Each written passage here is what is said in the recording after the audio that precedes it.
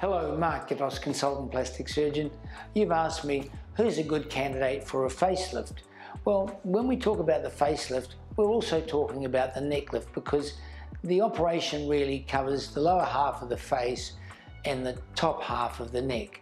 The best candidate for a facelift is a lady or a gentleman who's lost weight and has loose, sagging uh, facial skin. This may include a loose angle between the chin and the neck and also jowling or loss of the um, youthful jawline. So the facelift operation is done with you asleep. It takes me about two and a half to four hours to do and it can be achieved either as a day case or as a one night stay. The, um, the operation is not a painful operation. The skin is quite numb and tight for several weeks afterwards and with the techniques we use uh, we can minimize any bruising or any disruption to your day-to-day activities. Uh, so why don't you uh, book in with my lovely ladies on the front desk uh, for a consultation.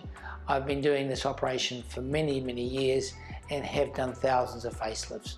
I'll be very happy to show you before and after photos and give you an honest assessment as to whether this operation is best for you. Also look at my website, we have before and after photos on the website and also downloadable patient information guides. And finally, we offer interest-free finance terms.